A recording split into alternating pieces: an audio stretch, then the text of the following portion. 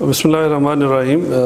میں خصوصی طور پہ شکریہ ادا کرتا ہوں چودھری اختر صاحب اور ان کی ٹیم کا جو کہ کورٹ سے تشریف لائے اور ہمیں یہاں پہ دو وینٹیلیٹرز انہوں نے اپنی طرف سے پیش کیے اور ساتھ میں انہی کی کولیبوریشن کے ساتھ نفیس بیکرز کے اونرز uh, رافع سلیم صاحب کا شکریہ ادا کرتا ہوں کہ دو وینٹیلیٹرز انہوں نے اس کے علاوہ دیے تو آج ہمیں divisional head teaching hospital Mirpur میں uh, چار وینٹیلیٹرز جو ہیں ہمارے اپنے بھائیوں کی طرف سے ڈونیٹ کیے گئے۔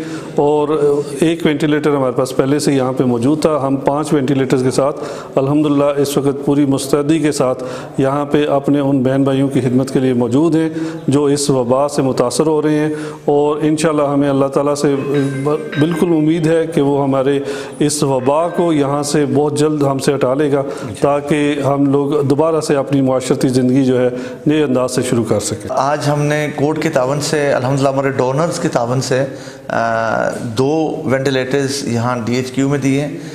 میرپور میں پہلے بھی ایک تھا ڈی ایچ کیو کا، اپنا دو مزید اور دیے۔ ہیں یہ جو اس وقت حالی صورتحال ہے کرونا وائرس کی، اس کو، اس کے ساتھ جد و جہد کرنے کے لیے۔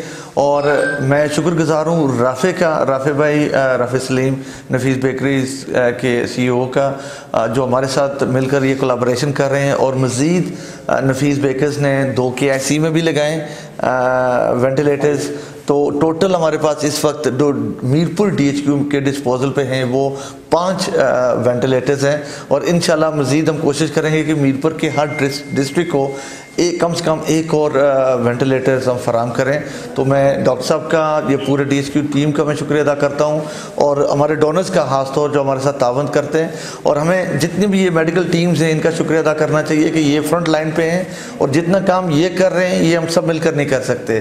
تو I want to thank all the medical team the doctors the nurses and the whole of Pakistan Azad Kashmir اور خاص طور ہمارے جو میرپور ڈویژن میں ہیں، جو فرنٹ لائن پہ کام کر رہے ہیں۔ خاص طور ہماری میرپور کی جو ایڈمنسٹریشن ہے ہم ان کا شکریہ ادا کرتے ہیں کہ وہ پورا ماشاءاللہ ایک بڑے پور طریقے سے کام کریں اور ہم ان کی شانہ بشانہ ہیں۔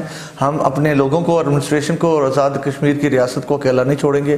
جہاں حسب ضرورت ہے، کوٹ ان کی شانہ بشانہ ہے، انشاءاللہ۔